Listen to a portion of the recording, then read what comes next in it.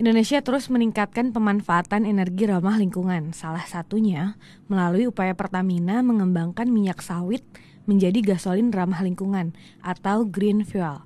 Rencana itu ditempuh dengan mengubah kilang yang ada di Pelaju dan Dumai sebagai pengolahan minyak atau biorefinery dalam tiga tahun ke depan. Pertamina menggandeng perusahaan minyak asal Italia, INI, untuk bersama-sama membangun kilang minyak yang dapat mengolah biodiesel dan biofuel dengan uh, Eni yang akan uh, kita jalankan bersama. Ini terkait dengan pengembangan biorefinery yang akan dibangun.